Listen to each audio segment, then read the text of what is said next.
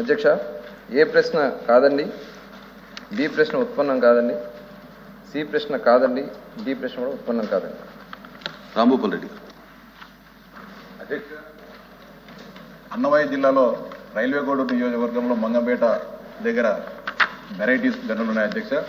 గత ఐదు సంవత్సరాలుగా విచ్చలవిడిగా ఖనిజాన్ని దోపిడీ చేసి వందల కోట్ల రూపాయలను కొంతమంది రాజకీయ నాయకులు కొన్ని ఎగుమతి సంస్థలు ఆర్జించడం జరిగింది అధ్యక్ష. ముఖ్యంగా ఆ రికార్డులను పరిశీలిస్తే అగ్రిమెంట్ ఎగుమతి సంస్థలకు ఇచ్చిన అగ్రిమెంట్ క్వాంటిటీ కంటే తర్వాత ఎగుమతి సంస్థలు అత్యధికంగా లక్షలాది టన్నులు ఎగుమతి చేసినట్టు రికార్డులుగా చెప్తా ఉన్నా అధ్యక్ష.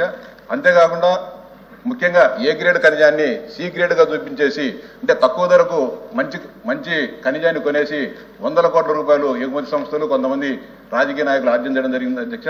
ముఖ్యంగా అప్పుడు ఏపీఎండి సీఎండీగా ఉన్న వెంకటరెడ్డి గారు అక్కడ సిపిఓగా ఉన్న వాసుదేవరెడ్డి గారు మొత్తం ఈ కుంభకోణానికి బాధ్యులు అధ్యక్ష. మొత్తం గతంలో అనేక సందర్భాల్లో గత ఐదు సంవత్సరాలుగా ఈ మీడియా మీడియా ద్వారా బయటకు వచ్చింది. ఆ ప్రాంతంలో ఎవరు అడిగినా కూడా ఆఖరుకు పలవరైజు మిల్లు అక్కడ. అనేక మంది యువ పారిశ్రామికవేత్తలు పలవరైజు మిల్లు పెడితే వారికి కూడా ఖనిజాన్ని ఇవ్వకుండా ఎగుమతి చేయడం అధ్యక్ష. అంతేకాకుండా దాదాపు నాలుగు వందల మందిని అవుట్ సోర్సింగ్ ద్వారా ఉద్యోగాలు నియమించుకొని వాళ్ళు అక్కడ పనులకు పోకోకుండా కూడా వైఎస్ఆర్సీపీ నాయకుల దగ్గర ఆ ప్రాంతానికి సంబంధించిన నాయకుల దగ్గర పనులు అక్కడ ఉద్యోగాలు వాళ్ళ దగ్గర ఉద్యోగాలు చేస్తా ఇక్కడ జీతాలు తీసుకోవడం జరిగింది అధ్యక్ష. దీని మీద సమగ్ర విచారణ జరపాల్సి జరపాల్సిన అధ్యక్ష. ఆల్రెడీగా విజిలెన్స్ ఎంక్వైరీ చేయమని చెప్పి విజిలెన్స్ డైరెక్టర్ గారికి విజ్ఞప్తి చేస్తాం గౌరవ మంత్రి గారికి మీ ద్వారా విజ్ఞప్తి చేస్తున్నా. వందల కోట్ల రూపాయల ప్రజాధనం అక్కడ దోపిడీ జరిగింది. ఖచ్చితంగా దీనిపైన విజిలెన్స్ విచారణ జరపాలా దోషులు శిక్షించాలా. అవసరమైతే డబ్బు ఎక్కడికి పోయిందనే దానిపైన కేంద్ర దర్యాప్తు సంస్థలతో విచారణ జరిపించాలని చెప్పి మీ ద్వారా గౌరవ మంత్రి గారికి విజ్ఞప్తి చేస్తాను ఓకే. మంత్రి గారు. మాడతారు రామారావు. అధ్యక్ష ఇప్పుడు మంగంపేట ఈ వెరైటీస్ గన్లు కానీ ఇప్పుడు గూడూరులో ఉన్న మైకా గన్లు కానీ ఈ మధ్యకాలంలో చూసినట్టయితే ఒక దశాబ్దాల కాలంగా వస్తున్న ఈ మైన్స్ ఇప్పుడు చూసినట్టయితే పూర్తిగా టోటల్గా అసలు యంత్రాలతో తవ్వేసి ఎక్కడ కూడా అసలు అక్కడ గనులు ఉన్నాయా అనేది ఒక ఎగ్జిస్టెన్స్ కూడా లేకుండా ఈ రోజున దోపిడీ జరిగిన విషయాన్ని మీ ద్వారా సభ దృష్టి తీసుకొస్తున్నాను.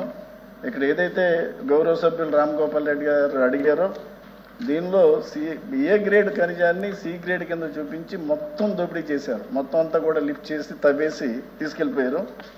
దీని మీద అవి ఏదైనా ఎన్ఫోర్స్మెంట్ డైరెక్టరేట్కి ఈ కేసుని అప్పచెప్పినట్టయితే ఆ కన్సర్న్ ఆఫీసర్స్ ఎవరున్నారో వాళ్ళ మీద రాజకీయ నాయకుల మీద చర్యలు తీసుకోవడానికి అవకాశం దొరుకుతుందని ఈ సందర్భంగా మీ ద్వారా గౌరవ మంత్రి గారిని వారికి విజ్ఞప్తి చేస్తున్నాను. ఇది ఎంక్వైరీ చేయించమని.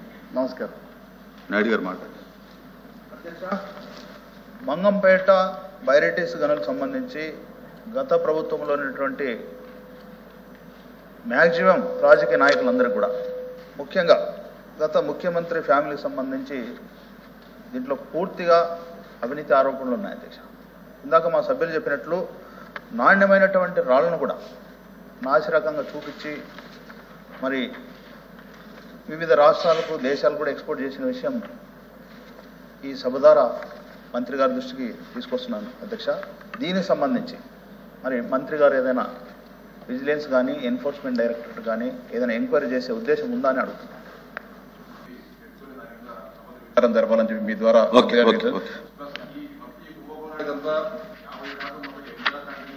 జరిగాయి అధ్యక్ష. అంటే పెద్దిరెడ్డి రామచంద్రారెడ్డి ఎంపీ మిథున్ రెడ్డి సహాయ సహకారాలతో మొత్తం జరిగింది. ముఖ్యంగా ఎంప్రీడా కంపెనీ దయచేసి పేర్లు వద్దులండి. జరపాలని చెప్పి విజ్ఞప్తి చేస్తాను. మీ ద్వారా మంత్రి సభలో గారికి. లేని మీ పేర్లు ఎందుకు? గత ప్రభుత్వంలో గత మంత్రులు అన్నాడు తప్పేం కాదు. పేర్లు ఎందుకు ప్రతిసారి? Okay. Question number one three four two seven deputy CM గారు. గత ప్రభుత్వంలో గత మంత్రులు అన్నాడు తప్పేం కాదు. పేర్లు ఎందుకు ప్రతిసారి? Okay. Question number one three four two seven deputy CM గారు. అధ్యక్ష శ్రీ వంకా రవీంద్రనాథ్ గారు అడిగిన ప్రశ్నలు అధ్యక్ష ఒకటి ఏ దేశంలోనే ఎలక్ట్రానిక్ వ్యర్థాలను ఉత్పత్తి చేసే మూడు అగ్ర రాష్ట్రాల్లో ఆంధ్రప్రదేశ్ ఒకటి అనేది వాస్తవమేనా? ఈ ప్రశ్నకి సమాధానం అధ్యక్ష లేదు. ఇది ఉమ్మడి తెలంగాణ రాష్ట్రాన్ని కలుపుకుంటే అది ఏదైనా మూడో స్థానంలో తెలంగాణ ఉంది. ఆంధ్రప్రదేశ్ లేదు అధ్యక్షుడు రెండు అయితే రాష్ట్రంలో ఎలక్ట్రానిక్ వ్యర్థాలను సక్రమంగా తరలించేందుకు ప్రభుత్వం తీసుకుంటున్న చర్యలు ఏమిటి? ఉత్పత్తిదారుల ద్వారా అందించబడిన దేశవ్యాప్త విక్రయాల డేటా ఆధారంగా జాతీయ స్థాయిలో ఎలక్ట్రానిక్ వ్యర్థాల ఉత్పత్తికి సెంట్రల్ పొల్యూషన్ కంట్రోల్ బోర్డు అంచనాల ప్రకారం ఆంధ్రప్రదేశ్ రాష్ట్రం పన్నెండవ స్థానంలో ఉందని పేర్కొనడం జరిగింది. దానికి అనుబంధంగా నకలు కూడా జత- జత భారత ప్రభుత్వ పర్యావరణ అటవీ వాతావరణ మార్పుల మంత్రిత్వ శాఖ ఎలక్ట్రానిక్ వ్యర్థాల నిర్వహణ నిబంధనలను తెలియజేసింది. ఆంధ్రప్రదేశ్లో ఒకటి ఏప్రిల్ రెండు వేల ఇరవై మూడు నుండి ఇప్పటి వరకు అమలు చేయబడుతుంది. ప్రస్తుతం ఎలక్ట్రానిక్ వ్యర్థాలను తరలించడం రీసైకిల్ మరియు శుభ్రం చేయడానికి ఆంధ్రప్రదేశ్ రాష్ట్రంలో ఆరు ఎలక్ట్రానిక్ వ్యర్థాల రీసైక్లర్స్ వ్యర్థాల సేకరణ కోసం నమోదయ్యాయి. రాష్ట్రంలో ఉత్పత్తి అయ్యే మొత్తం ఎలక్ట్రానిక్ వ్యర్థాలను ఎలక్ట్రానిక్ వ్యర్థాల రీసైక్లర్స్ ద్వారా సేకరణ జరుగుతున్నది. ఎలక్ట్రానిక్ వ్యర్థాల రీసైక్లర్స్ వ్యర్థాలను ప్లాస్టిక్లు విలువైన ఇతర లోహాల ప్రమాదకర వ్యర్థాలు మరియు ఇతర పదార్థాలుగా విభజించడం జరుగుతుంది. ప్లాస్టిక్ వ్యర్థాలను గ్రాన్యూల్స్ గాను పెల్లెట్స్ తయారీ కోసం ప్లాస్టిక్ వ్యర్థాల ప్రక్రియ యూనిట్కు తరలించడం జరుగుతూ ఉంటుంది. ప్రీ ప్రాసెసర్లు కో ప్రాసెసర్లు ట్రీట్మెంట్ స్టోరేజ్ ప్రమాదకరమైన వ్యర్థాలను తరలించే సౌకర్యం environment protection training treatment storage and disposable ఫెసిలిటీకి తరలించడం తరలించే సౌకర్యం నిర్దేశం. ఎలక్ట్రానిక్ వ్యర్థాల రీసైక్లింగ్ యూనిట్ల ద్వారా విలువైన ఇతర మరి ఇతర లోహాలు సంగ్రహించడం అవుతుంది. మరి ఇనర్ట్ మెటీరియల్ తరలించడానికి తరలించడానికి తదుపరి శాస్త్రీయ ట్రీట్మెంట్ కోసం టిఎస్డి టిఎస్డిఎఫ్కి అంటే ట్రీట్మెంట్ స్టోరేజ్ డిస్పోజల్ ఫెసిలిటీకి దీన్ని తరలించబడుతుంది. మరిన్ని వివరాలన్నీ అనుబంధంలో జత చేయండి